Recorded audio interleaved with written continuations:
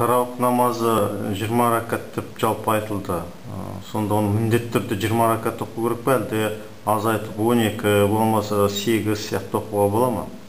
Ә, тарауых намазының біз үкімін айтып өттік. Тарауых намазының ә, бекітілген яғни сүннат бұл сол кезде омар радиаллаху анху уақытында тарауых намазы о баста сегіз ракағат болған.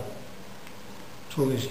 Кейіннен бұл әбу ханифа рахматуллахи алейхінің біздің осы мазхаб бойынша бекітілген ижмапен бекітілген пәтуа бойынша жиырма рақағат болып бекітілген яғни сол нұсқада жиырма рақағатпен жаңағы біз оқып келеміз сегіз рақағаты бұрын болған кейін өзін кейін күшін жоғалтуда күшін жоғалтуына байланысты жиырма рақағат болып оқылып оқылуына бекітілген. Яғни біздің абу ханифа мазхабы Ханифа бойынша жиырма ракат етті оқу керек иә жиырма рақағат болып бекітілген. Ал енді өмір болсын жедел жағдайлар бар біреулер мешітке үлгермей жатады басқа жағдай болады сонда үйде оқуға бола ма? Тарауых намазы негізі жамағатпен оқылатын намаз.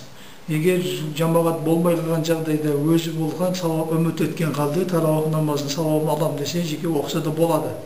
Мына жамағатпен оқылған абзалырақ болады түсінікті көп рахмет сізге